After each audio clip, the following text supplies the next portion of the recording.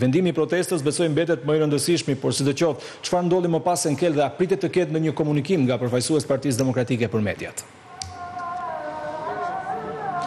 Në fakt, me dyer të mbyllura është diskutuar edhe për sa i përket shpërndarjes së protestës së 29 tetorit. Pra ndryshe nga 7 tetori ku patëm bllokim të rrugëve në kryeqytet, nga ana e Partisë Demokratike po studiohet dhe një strategji tjetër, pra bllokimi në disa akse kryesore dhe në zona të tjera, pra në qytete të tjera të vendit për të krijuar, le të themi, një lloj ngërçi total më njëzet e nëntë tetor në akse kryesore të rrugëve, duke e cilësuar këtë një mosbindje civile. Por sigurisht për le të themi për për sa i përket Tiranës do të jetë e njëjta strategji që pamë më shtatë tetor, ndërkohë Ende nuk janë caktuar saktësisht le të themi se cilat do të jenë ato rrugë kryesore që mund të bllokohen edhe në zona të tjera nga ana e protestuesve të Partisë Demokratike, pasi këto do të kërkojnë përsëri diskutime, qoftë edhe me Këshillin Kombëtar të Partisë Demokratike për të përcaktuar saktësisht se cilat do të jenë ato zona. Pra do të kemi një shtrirje përveç përveç se Tiranës edhe në zona të tjera. Të paktën këto janë diskutimet që janë bërë në kryesinë e Partisë Demokratike, diskutime që këto ne kemi parë edhe herë të tjera që do të jetë dhe Këshilli Kombëtar, anëtarët e Këshillit Kombëtar ata të cilët do të japin dhe mendimet e tyre dhe për të vendosur më pas përfundimisht se si do të jetë kjo strategji për 29 tetorin. Por diskutimet janë që të krijohet një ngërç total. Në fakt zoti Berisha e paralajmëroi protestën e 29 tetorit dhe sigurisht u bëri thirrje dhe drejtuesve të qarqeve që të mobilizojnë qytetarët në zonat e tyre për të krijuar atë që ata e cilësojnë mosbindje civile. Por e theksova që përqendrimi më i madh do të jetë pikërisht Tirana, pra një nisje nga Partia Demokratike drejt kryeministrisë dhe më pas një lloj shpërndarje në rrugët kryesore të Tiranës ashtu si ne e pamë dhe më 7 tetor, por Strategjia e re në qytete të tjera do të jetë ajo që do të tregojë nëse Partia Demokratike do të arrijë objektivin e saj që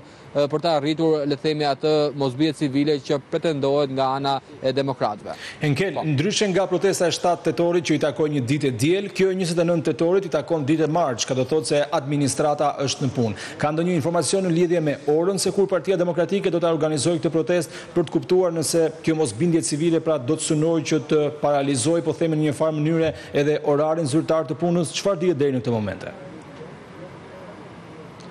Nuk ka një orë konkrete, por po diskutohet që të mbahet pasdite, pra mhm. që do të thotë rreth orës 18 apo orës 19, por sigurisht janë, janë teknalitete që duhet që së pari të diskutohen dhe nëpërmjet strukturave të tjera të Partisë Demokratike, pasi do të jenë drejtuesit e qarqeve, por dhe degët e Partisë Demokratike, të cilët do të japin mendimin e tyre për sa i përket mënyrës se si mund të mobilizojnë sa më shumë qytetarë dhe për të zgjedhur një orar ku dhe qytetarët janë më të lirshëm për të dalë dhe në protestë dhe për mos ndikuar sigurisht dhe në punët e tyre të përditshme. Por nuk ka një orë konkrete të vendosur nga ana e kryesisë, do të presim Sigurisht gjatë këtyre ditëve të ketë diskutime, pasi gjatë këtyre ditëve do të ketë dhe diskutime për sa i përket detajeve të strategjisë dhe mund të ketë dhe ndryshime, por të paktën paraprakisht kjo është diskutuar në kryesi. Pra protestë në Tiranë, por dhe në disa zona të tjera ose në disa akse kyçe të rëndësishme për vendin që mund të bllokohen nga Partia Demokratike apo nga protestuesit e Partisë Demokratike më datën 29 tetor. Sigurisht do të mbetet në dorë të drejtuesve të qarqeve dhe të degëve të Partisë Demokratike për mënyrën se sa do të arrijnë ata të mobilizojnë qytetarët dhe për të krijuar protesta dhe në zona të ndryshme pikërisht më 29 tetor. Enkel, në komunikimin që patëm para pak minutash, pyeta nëse ka patur komunikime të drejtpërdrejta midis përfaqësuesve të Partisë Demokratike dhe atyre të Partisë së Lirisë, ndërsa tani jemi të interesuar të dimë nëse do të ketë deputetë të Partisë Demokratike të cilët do të shkojnë tek blloku i sigurisë për të treguar edhe mbështetjen politike për Ilir Metën, pra për kryetarin e Partisë së Lirisë. A është diskutuar diçka e tillë, pra përveç reagimeve që ka patur në rrjetet sociale nga ana e tyre, por edhe nga ana e zotit Berisha kundër këtij vendimi?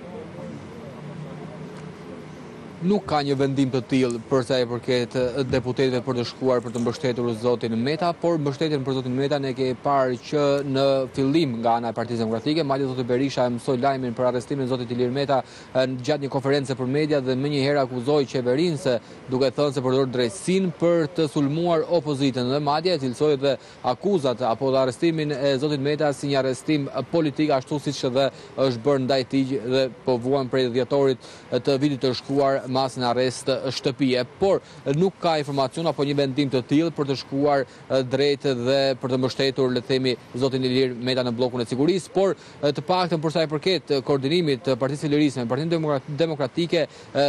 Partia Demokratike është shprehur qartë në mbështetje të zotit Meta dhe të Partisë së Lirisë. Sigurisht dhe Partia e Lirisë do të jetë ajo e cila do të marrë dhe vendimet e saja për sa i përket mënyrës se si do të veprojë tashmë që ka dhe kryetarin Ilir Meta në burg, por deri më tani nuk ka një vendim as nga Partia e Lirisë, pasi do të duhet të mblidhen dhe forumet e larta të Partisë së Lirisë që të japin një vendim konkret për mënyrën se si do të veprojë. Por ajo që është e sigurt është se Partia e Lirisë sigurisht do të jetë pjesë e aksionit të opozitës më njëzet e nëntë tetor në protestën e cila do të jetë jo vetëm në Tiranë me sa duket, por sipas le të themi diskutimeve paraprake do të zhvillohet dhe në qytete të tjera. Nuk ndryshon asgjë për sa i përket mbështetjes së Partisë së Lirisë ndaj këtij aksioni, por nëse do të ketë ndryshim strategjie apo ashpërsim nga ana e Partisë së Lirisë do të duhet të njoftohet pasi të jenë mbledhur forumet drejtuese apo më të larta të Partisë së Lirisë dhe më pas të koordinohet dhe me Partinë Demokratike.